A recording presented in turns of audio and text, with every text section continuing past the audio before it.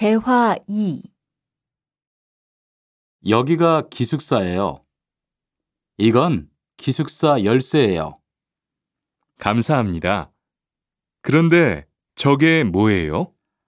가족 사진이에요. 여기가 기숙사예요. 이건 기숙사 열쇠예요. 감사합니다. 그런데 저게 뭐예요? 가족 사진이에요.